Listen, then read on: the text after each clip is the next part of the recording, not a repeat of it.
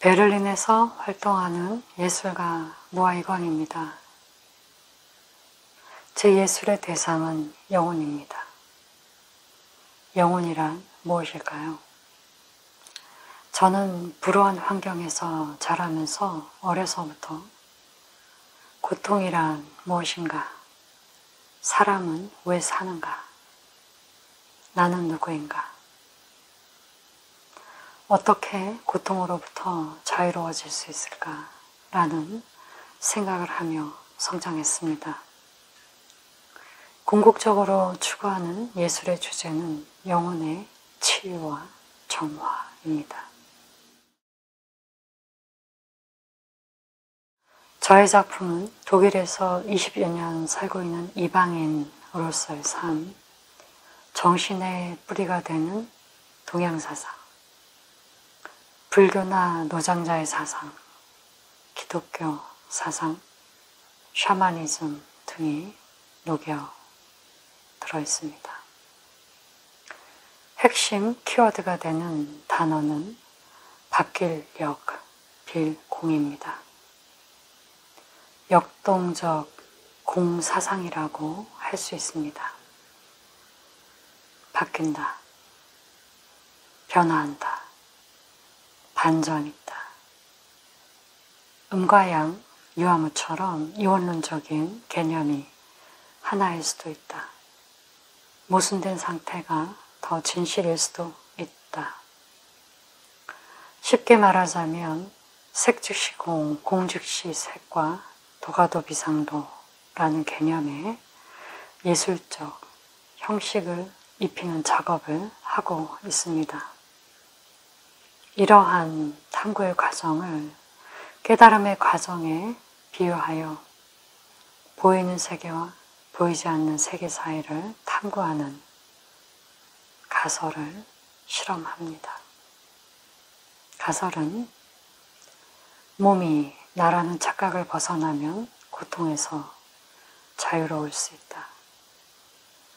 물질계가 진짜라는 착각에서 벗어나면 현실의 고통에서 자유로울 수 있다.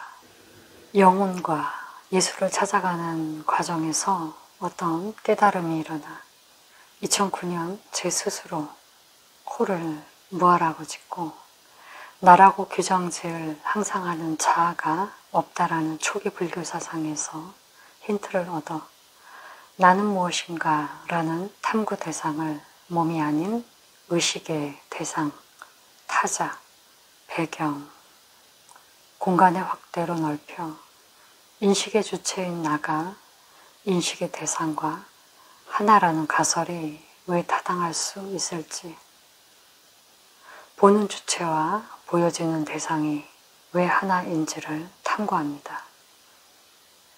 이 지점에서 고통받는 대상에 대한 연민이 왜 나의 고통으로 함께 공명하는지, 타인의 무의식이 나의 무의식과 어떻게 연결되어 있는지 살펴볼 수 있습니다.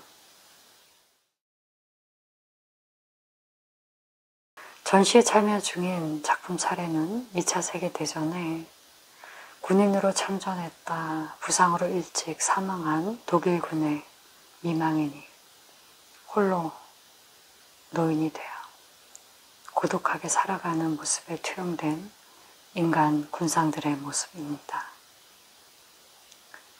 폭력의 시대가 만든 피해자의 초상 속에 억눌려 있는 집단 무의식을 작업한 것입니다. 죽음의 공포와 삶의 신비가 공존하는 얼굴은 저의 얼굴일 수도 있고 어떤 가해자, 어떤 피해자가 한데 얽혀있는 불특정한 얼굴로 고통을 주기도 하고 받기도 하는 사람의 얼굴이자 영혼의 모습입니다. 집단 무의식은 개인의 무의식과 깊은 관련이 있습니다.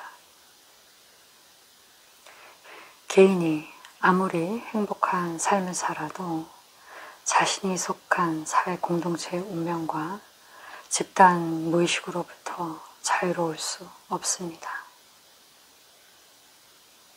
세계 곳곳에서 전쟁으로 고향을 떠나 난민이 된 사람들을 돌보는 것.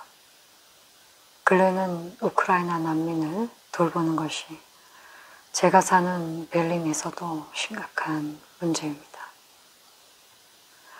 난민 정책은 일부 국가만의 문제가 아니며 우리 모두는 현재 시대에 당면한 문제들로부터 자유로울 수 없습니다. 국가 간의 폭력, 사회에 내재한 폭력, 가정폭력, 그리고 내 안의 폭력. 누군가는 때리고 누군가는 맞는 관계. 가해자와 피해자는 짝을 이루는 하나의 관계라는 것에서 다시 한번 주체와 대상이 다르지 않다는 가설이 왜 우리 시대에 필요한 가설일 수 있는지 함께 생각해 주시길 바랍니다.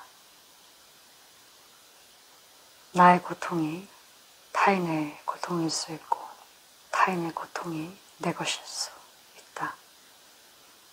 나라는 존재는 타인의 고통에 공명하는 연민의 주체이자 대상일 수 있다는 것. 역할을 바꾸어 가난하고 억압받는 소외된 약자의 모습에서 자신의 모습을 보는 것. 이러한 봄과 보여짐은 하나이며 이러한 의식의 공명이 깨달음이며 실로 위대한 존재의 신비이며 인류가 당면한 모든 문제들의 정화가 일어날 기적의 장소는 바로 내 의식 아닙니다. 내 안에서 일어나는 정화와 치유가 기적입니다. 지금 바로 여기 내가 있는 곳에서 어디선가 고통에 눈물을 흘리는 그들을 외면하고 있는 건 아닌지 멈추어 돌아볼 때입니다. 아직 늦지 않았습니다. 빈부격차가 심해지고 사회적 불평등이 불안을 가중시키는 현대사회, 환경오염, 물질 만능, 생존 경제. 경쟁사회에서 승리하도록 최전선까지 몰아붙이는 교육, 여기에 사랑이 있습니까?